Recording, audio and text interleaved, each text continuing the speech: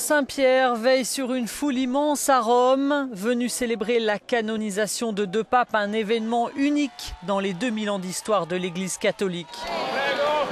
Pas facile pour la police de juguler une foule d'un million de personnes venues prier ce dimanche pour Jean-Paul II et Jean XXIII. Rome attend aussi 98 délégations et 24 chefs d'État étaient couronnés. Jean-Paul II est comme un père, dit cet Italien. Je le connaissais très bien. Il y a 20 ans, j'ai eu une audience à Rome avec lui. Nous sommes très excités.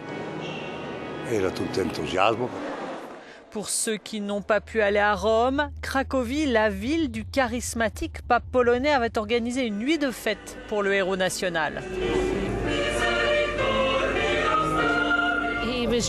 C'était un homme tellement spécial, dit cette fidèle. C'est une légende et vraiment, vraiment, il le mérite. Nous sommes venus d'Irlande en Pologne pour être ici pour sa canonisation parce que nous ne pouvions pas aller à Rome. La canonisation de Jean-Paul II, neuf ans après sa mort, est sans doute la plus rapide de l'histoire selon l'Église. Elle est pourtant contestée par ceux qui dénoncent les scandales de pédophilie.